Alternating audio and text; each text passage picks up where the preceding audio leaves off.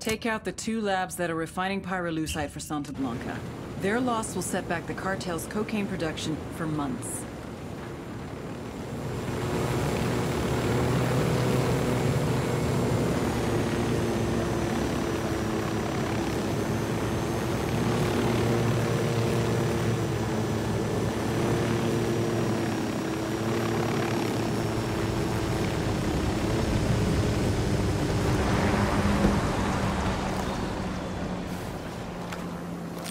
Drone is airborne. Generator spotted.